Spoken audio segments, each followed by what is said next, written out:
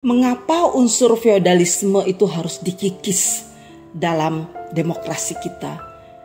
Ada banyak dampaknya yang sangat buruk. Pertama, pemimpin nggak paham persoalan yang dihadapi oleh masyarakat. Ya tentu saja nggak paham karena dia kan cuma dikarbit, diangkat sesuai keinginan keluarga. Jadi semacam dinasti gitu loh. Jadi supaya orang lain gak masuk, semua cara digunakan untuk mengangkat orang-orang yang ada di dalam lingkungan keluarga tersebut jadi pemimpin. Yang kedua, rakyat hanya bisa memilih yang menyogok mereka. Nah, untuk supaya rakyat bisa memilih itu disogok. Jadi seperti kemarin ya, ada beberapa anggota DPR itu sampai keluar uang 10 miliar, bahkan ada 18 miliar untuk menyogok rakyat yang memilih mereka. Kira-kira uang itu dari mana? Yang ketiga, organisasi-organisasi kemasyarakatan bahkan juga organisasi keagamaan juga sekarang sudah tidak netral. Ya mereka juga dipenuhi dengan sogok menyogok. Bahkan saya dengar di organisasi-organisasi keagamaan itu disogok dengan bisnis tambang. Organisasi mahasiswa disogok dengan apa proyek-proyek kemahasiswaan, penelitian dan sebagainya. Aduh, ini mengerikan sekali. Nah, penghargaan hanya ada untuk orang yang berkontribusi dengan uang dan fasilitas.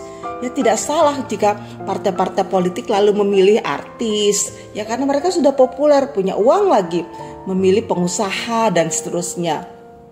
Gak salah sih sebetulnya, tetapi apakah mereka punya kompetensi dan punya kualitas dan ke punya kemampuan untuk mengartikulasikan keinginan atau kebutuhan masyarakat. Kemudian dengan demikian orang-orang yang memiliki sumber daya yang baik itu akan akan hilang, tenggelam ya karena mereka bukan family, bukan keluarga. Nah, pemimpin yang sejati itu dibunuh karakternya. Kewibawaan seseorang diukur dengan jabatan dan pangkat. Akibatnya apa? Masyarakat akan korup, tertinggal, terjajah dan sulit keluar dari lingkaran setan yang sangat membelenggu. Akibatnya apa lagi? Pendidikan, ilmu pengetahuan, ya dan semua yang berkaitan dengan pengembangan sains itu akan mengalami kemunduran. Rakyat akan lestari dalam kemiskinan. Kelompok sejahtera hanyalah kelompok kerabat. Ilmu pengetahuan akan mengalami degradasi dan punah di lingkungan feodal. Nah, karena itu kita lihat bahwa dampak lebih jauh lagi itu menghasilkan korupsi, kolusi, nepotisme, dan itu saling bertaut satu sama lain. Bingung kita mengikisnya dari mana? Apakah korupsi dulu, kolusi dulu, nepotisme dulu? Karena itu satu paket ya. Oleh karena itu saya berharap bahwa tetap ada cara yang harus kita lakukan untuk mengatasi, mengikis paling tidak feudalisme. Mungkin untuk menghilangkannya sama sekali itu nggak mungkin, tetapi mengikisnya Perlu apa itu? Pendidikan anti feodalisme. Dimulai dengan pernyataan bahwa semua orang itu setara, semua orang itu sederajat. Jadi nggak boleh membeda-bedakan antara yang family dan bukan family berdasarkan kekerabatan dan sebagainya. Karena itu semua bentuk diskriminasi atau ketidaksetaraan dan ketidakadilan itu harus dihentikan. Ya, jadi siapa pun orangnya baik orang tua yang berstatus miskin, kaya itu harus diperlakukan dengan cara yang sama. Nah, pendidikan anti feudalisme ini harus dimulai dari rumah tangga, dimulai dari keluarga.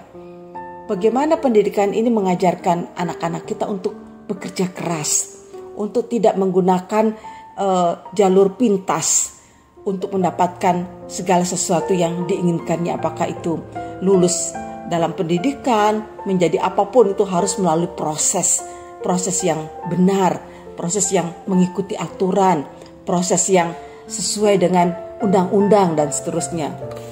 Nah, pendidikan yang tepat akan menjadi fondasi dan bekal bagi manusia untuk tumbuh menjadi dewasa dengan karakter sehingga memiliki moral yang baik.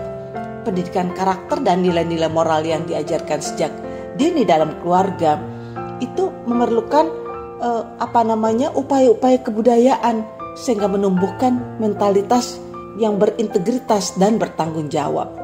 Nah, pendidikan itu bertujuan untuk mengembangkan seluruh potensi individu agar menjadi subjek yang berkembang secara optimal, berdaya guna bagi masyarakat, bangsa dan negara yang mencakup berbagai macam dimensi. Jadi pendidikan itu dimensinya banyak, dimensi sosial, budaya, politik, ekonomi dan seterusnya.